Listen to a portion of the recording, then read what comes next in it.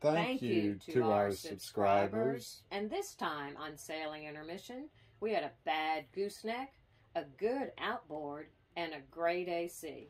Went and picked up our new Mercury 15 horse four stroke outboard.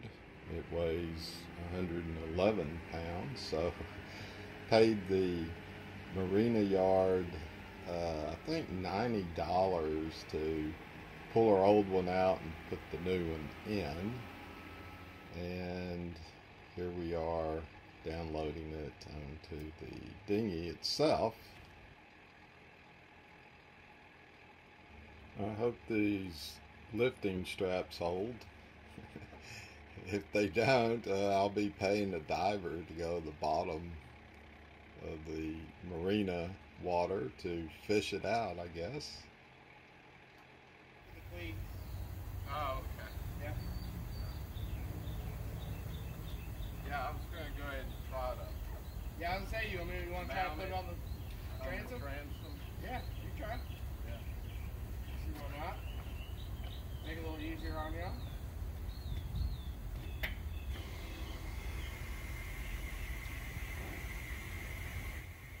Do you need me to come down and hold the dinghy?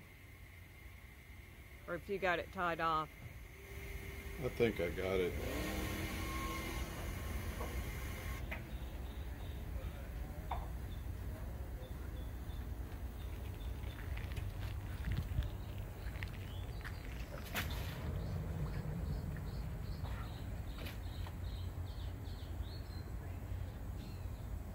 Okay, Ready? these are loose. Start coming down slowly. Alright.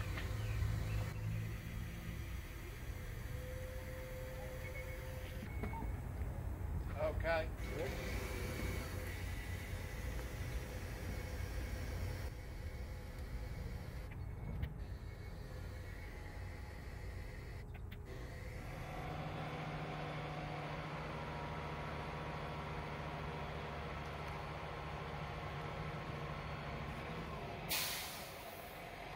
Row, row, row your boat gently down the stream.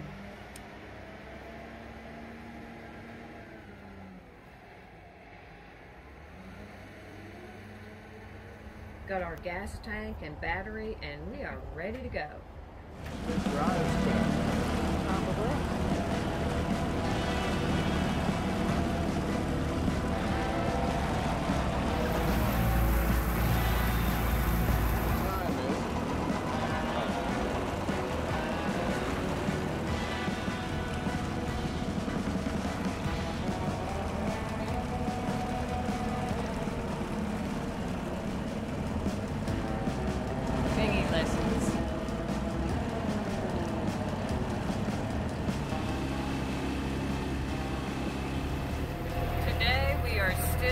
Breaking in the new outboard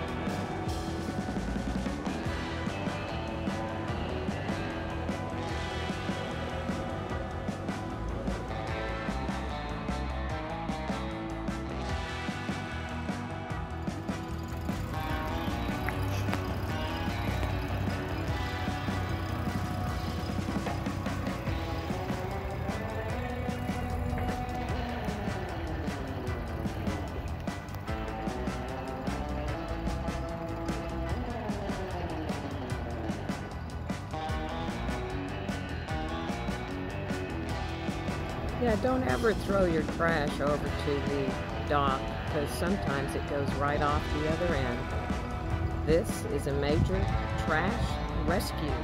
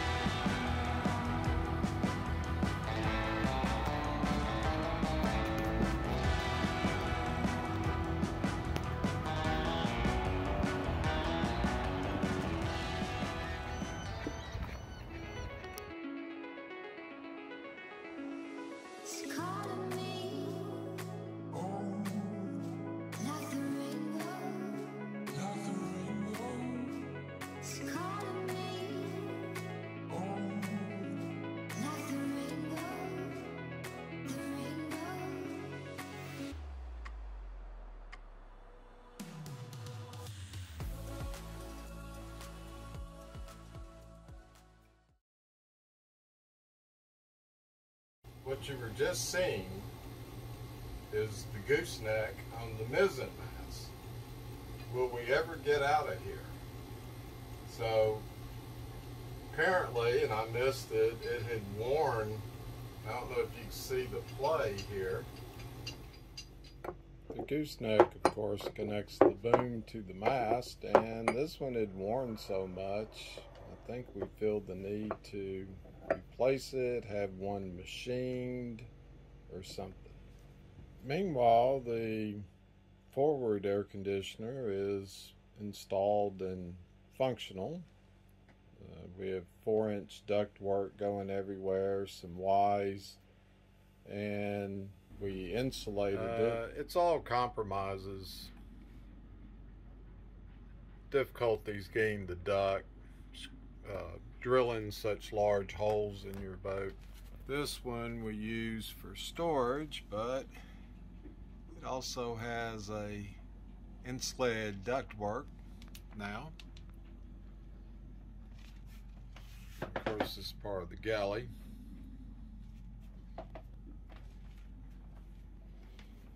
And moving along, doing a little cleaning, the vacuum out, messed up master, installed the second vent here. And here's our somewhat messy master cabin here. Installed the third vent here. I do have a return close to it, but they're really pointed in different directions. And then the thermostat isn't as high as I wanted, but was able to hide the wire going to it. I stood it off on some wood pieces I've yet to finish. It just came on. Uh, because I read that the temperature sensor is in the back of the unit, so rather than cutting a hole in the wall, I thought it'd be more sensitive to the ambient temperature if it was stood off the wall a little bit. Works great. You can see it's blowing the jacket there. And these have dampers on them. So we can kind of make the airflow consistent throughout the salon and the uh, master. See how messy our salon is? Actually not too bad. Been doing some projects. Course the return L uh, return air grill. Down here, it's hinged. I'm using a MERV 4 filter that you cut yourself. So that's the filter material. And of course, if you take this out, probably can't see, but there's part of the air conditioner unit, the pumps in there, and strainer. And then the pump and the strainer are both below waterline, the pump slightly higher than the strainer. It's a March, about 500 gallon an hour pump, and again a 16,000 BTU Dometic ECD unit.